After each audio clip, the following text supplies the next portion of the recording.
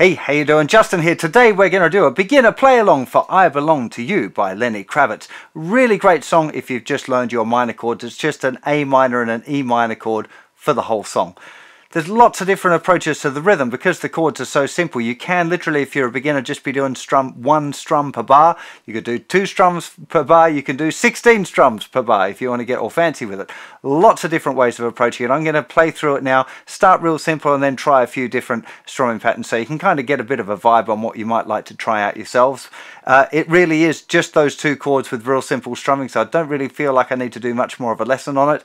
Uh, hopefully you've learned those chords as part of my beginner course, so uh, let's just fire it up.